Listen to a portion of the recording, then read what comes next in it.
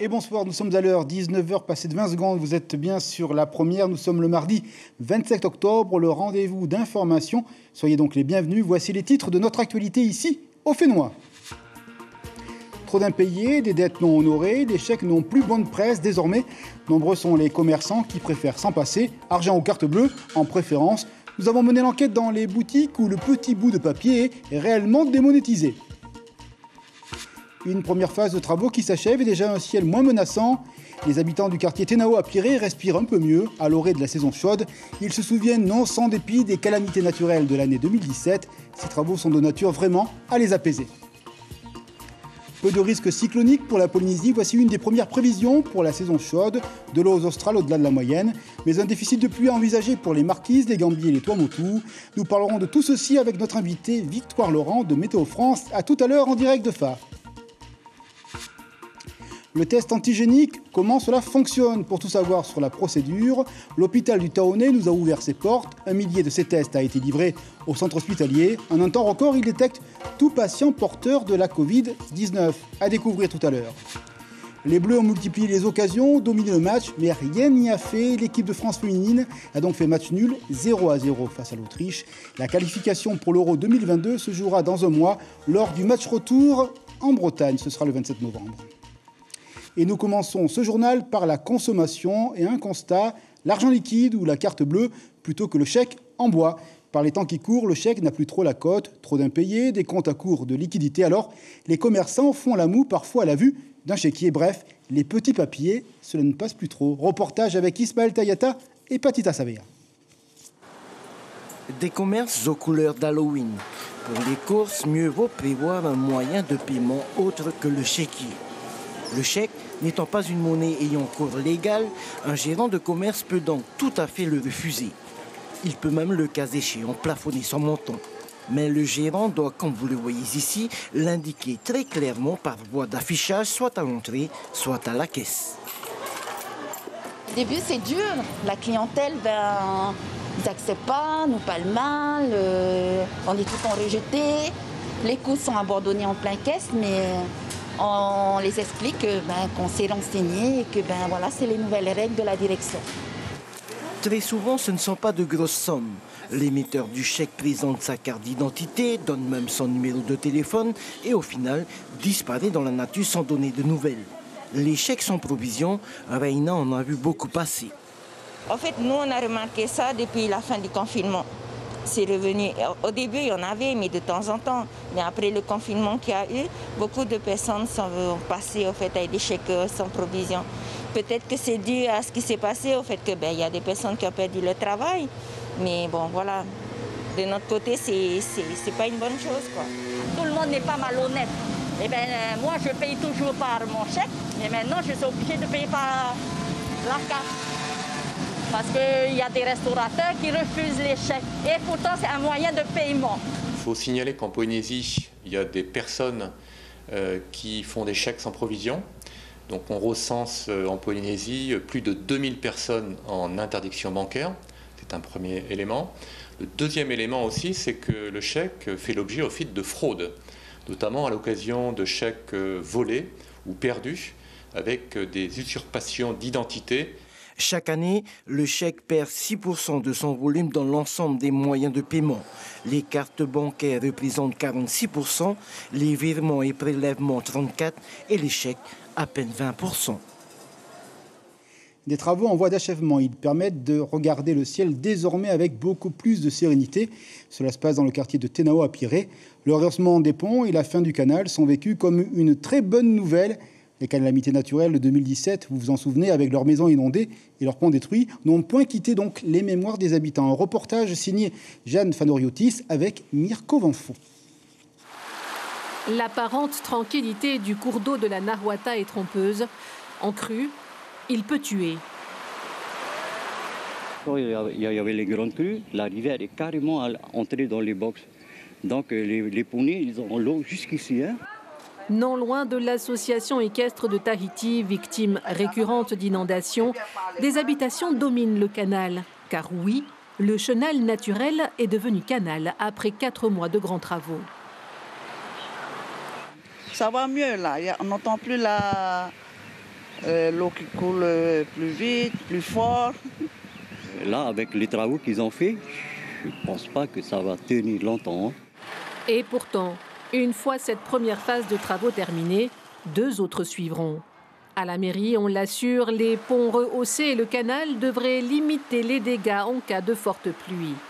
Nous sommes entièrement satisfaits dans le sens où au moins cette partie-là sera, je dirais, à l'abri des crues.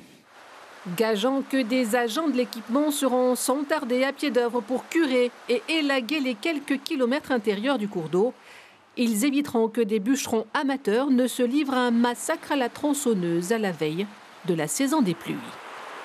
Des bonnes nouvelles et un peu de prévision pour continuer ce journal avec la météo. Pour faire simple, la Polynésie devrait connaître une saison chaude plutôt sèche avec peu de risques cycloniques. Cela veut dire un éventuel déficit de précipitations tout de même aux Marquises, aux Gambie, au Tuamotu. En revanche, de fortes pluies pourraient concerner les Australes. Une invitée pour faire le point sur tout cela elle s'appelle Victoire Laurent. Elle est responsable du service études et climatologie à Météo France. Elle est en direct de FA. Victoire, bonsoir. Donc déjà, on peut rassurer la population. A priori, les cyclones, c'est pas pour nous pour 2021.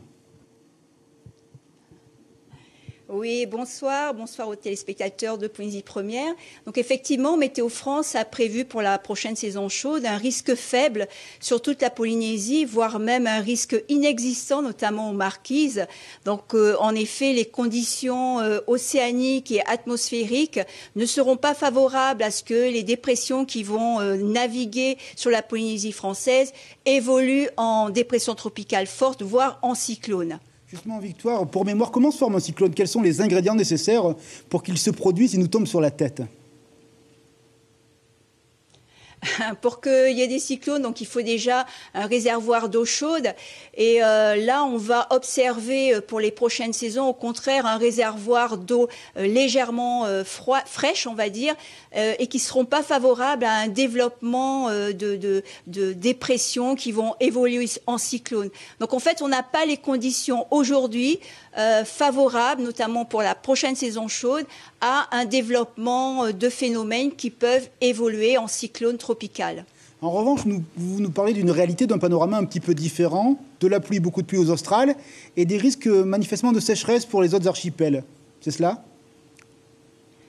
Ben, ben, oui, parce que conséquence, si on n'a pas les cyclones, on n'a pas non plus les pluies. Donc, euh, ce qui se passe, c'est qu'on va euh, effectivement, on tape plutôt par, pour un déficit pluviométrique au niveau des marquises, au niveau des Tuamotu, voire même de la société dans la deuxième partie de la saison chaude. Euh, par contre, sur les Australes, la première partie de la saison chaude, donc jusqu'au mois de janvier, on peut avoir des précipitations excédentaires, euh, mais euh, à partir de la deuxième partie de la saison chaude, de la même manière, on revient encore par un déficit de pluviométrie, aussi bien euh, sur les australes que sur, sur les autres zones de la Polynésie. Donc ça englobe la société, les Tuamotu, les Gambiers, qui auront un, un déficit pluviométrique. Merci beaucoup Victor Laurent pour ces précisions en direct depuis Météo France AFA et à très bientôt sur l'antenne. Merci encore pour votre sourire. Nous vous en parlions hier soir aux Marquises. Le Taoné est aussi équipé désormais de tests antigéniques, un à disposition de l'hôpital. Ils seront utilisés en cas d'urgence et traités directement au laboratoire de biologie moléculaire, déjà en service depuis 15 jours. Alors nous pouvons faire le point sur l'efficacité de ces dix tests. Reportage Chiquita d'Arouzès avec Hiro Au centre hospitalier du Taoné, c'est aux urgences que les tests antigéniques sont réalisés depuis 15 jours. Comme pour le test PCR, les patients n'échappent pas au prélèvement nasopharyngé avec un écouvillon. Le prélèvement est ensuite mis dans un diluant. Il suffit de quelques gouttes et il ne reste plus qu'à attendre. Voilà, il est déjà positif en fait. Normalement, c'est il y a 15 minutes, mais si ça sort, c'est déjà assez positif. Les gros avantages, c'est qu'effectivement, c'est moins cher, c'est surtout euh, très facile à, lancer une fois que le personnel a été, a été formé. Ça demande très peu de temps, à la fois de manipulation, mais aussi pour la réalisation, puisqu'en 15 minutes, on a un résultat. Le constat des urgentistes, après avoir testé près de 300 patients, c'est que le test antigénique peut parfois être faussé. Car contrairement au test PCR, il y a une moindre sensibilité de l'ordre d'environ 15%. Du coup, tous les tests antigéniques négatifs sont revérifiés par un test PCR. On a une technique euh, PCR euh, rapide qui se fait sur euh, des kits comme ceci et qui le rend en, en 50 minutes. Depuis un mois, le laboratoire du CHPF qui traite toutes les maladies infectieuses connaît globalement une augmentation d'activité liée notamment au Covid-19. Sur la trentaine de techniciens spécialisés, quatre se chargent essentiellement de traiter les 150 tests PCR qui arrivent chaque jour et la vingtaine de tests antigéniques. Avec moi, auparavant, il y en avait euh, 4 et on a doublé ce chiffre-là, c'est-à-dire qu'on a une réserve quasiment de 8 techniciens, sachant qu'au quotidien, il y en a 3 qui travaillent sur l'activité Covid, mais aussi dingue, leptospirose, parce qu'on on doit continuer à, à mener ces, ces diagnostics. hein. D'autres tests antigéniques ont été commandés par l'hôpital, mais le test PCR reste tout de même la référence. Direction Paris. Et cette question, la France en appui de la Polynésie, si besoin se fait sentir, avec la Nouvelle-Zélande et l'Australie au niveau de la crise sanitaire, c'est l'interrogation aujourd'hui posée par le député Brotherson face à la situation préoccupante du Fénois au niveau de la Covid-19. Il s'est donc exprimé au Parlement à Paris. La réponse de la ministre est positive. Elle serait donc de cet échange au cours des questions au gouvernement cet après-midi. Ma question est donc simple. Est-ce que l'État, est-ce que vous êtes prêt à soutenir le gouvernement polynésien pour demander à cette coopération régionale et internationale de venir aider la Polynésie française. La question d'un appui supplémentaire est en cours de discussion et nous sommes favorables et d'analyse, bien sûr. Un des enjeux porte également sur la disponibilité des tests en nombre suffisant afin de tester plus largement, plus rapidement la population et limiter la diffusion du virus, notamment dans les archipels. Je peux donc vous assurer, monsieur le, le député, pardon, pour conclure que le centre de crise est pleinement mobilisé. Voici donc la réponse du gouvernement. Demain, politique également avec le président Emmanuel Macron. Il sera en direct sur la Polynésie, la première, à partir de 9h. Sujet de son intervention aux Français, la Covid et le spectre éventuel du reconfinement de tout le territoire. Donc c'est une information à suivre demain matin en direct à 9h sur Polynésie, la première. Économie. Le pays ne laisse pas tomber Air Tahiti Nuit, entreprise stratégique, vous le savez, pour le Fénois. Ce matin, une signature a eu lieu. Elle concerne une convention. Son but, une avance en compte courant pour la compagnie aérienne. Elle pourra atteindre un peu plus de 2 milliards. On le sait, la compagnie hôtelière est fortement impactée par la crise sanitaire. Nombre de frontières restent fermées. Pour mémoire, Athènes, c'était au début de l'année 780 salariés. Au final, le travail précieux des douanes peut s'achever par la création, en quelque sorte, d'un bestiaire. Toujours est-il que la direction de l'environnement a reçu aujourd'hui un nombre impressionnant d'objets saisis en rapport avec la nature. Pêle-mêle, des carapaces de tortues, des dents de requin, même deux caïmans naturalisés. L'interview tout de suite de la directrice de l'environnement sur ce petit trésor. En fonction des objets, on peut les confier soit à des musées, soit à des associations ou des centres de soins pour pouvoir informer les enfants, avoir un programme pédagogique sur les différentes espèces qui sont protégées et qui font l'objet euh, de trafic. Donc ça, c'est une première chose. La deuxième chose, c'est aussi de pouvoir, à partir de certains éléments, affiner notre base de données sur, la génétique, sur les analyses génétiques, et d'être beaucoup plus précis au niveau des contrôles sur ce qui est saisi et récupéré à tous les niveaux sur le marché ou ailleurs en Polynésie. Un peu de sport pour euh, conclure cette édition avec l'équipe de France de football. Et nos filles ont manqué hier soir de réussite. Les Bleus étaient en déplacement du côté de l'Autriche en vue de la qualification pour l'Euro 2022. Des occasions, beaucoup d'occasions, mais pas de but. Un score final de 0 à 0. Voici le compte-rendu du match avec nos confrères d'Outre-mer, la première, à Paris. Un choc L'équipe de France féminine de football et l'Autriche ont gagné tous leurs matchs sans encaisser de but. Les deux équipes, leaders du groupe G dans ces éliminatoires pour l'Euro 2022, s'affrontaient ce soir pour la première place du groupe. Dans un match haché en première mi-temps, il faut attendre la 21e minute pour voir Viviane Assey tenter un retourné acrobatique. Le ballon manque le cadre.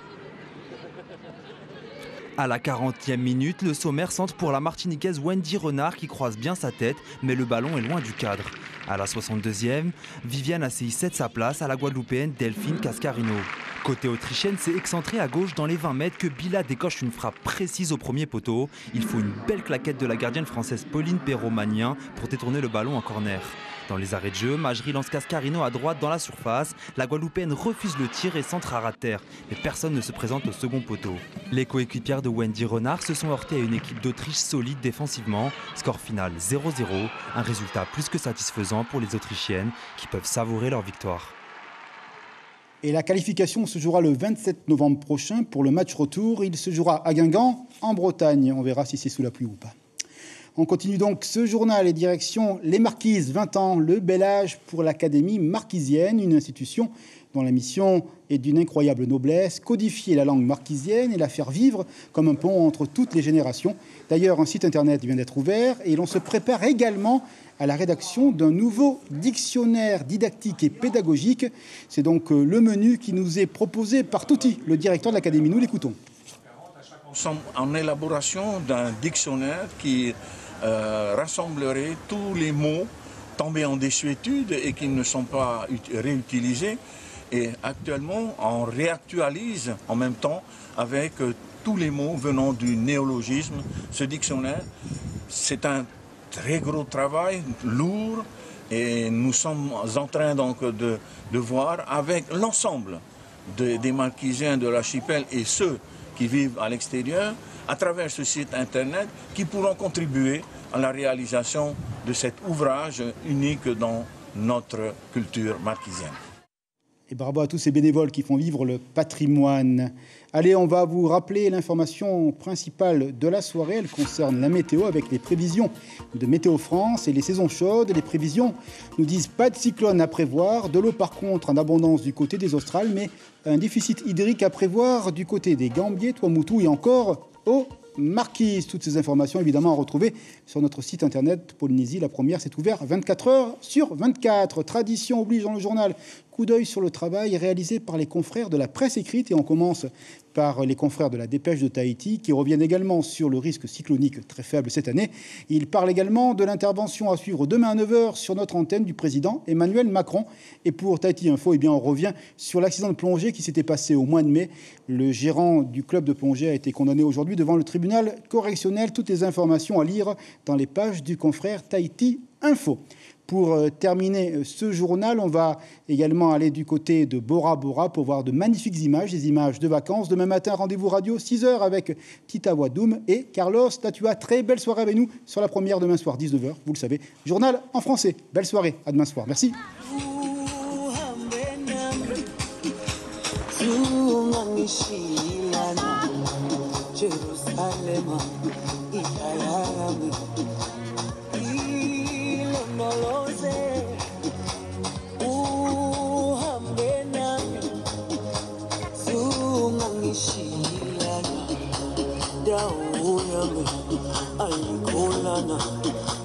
Trouvez notre journal en replay sur notre site internet.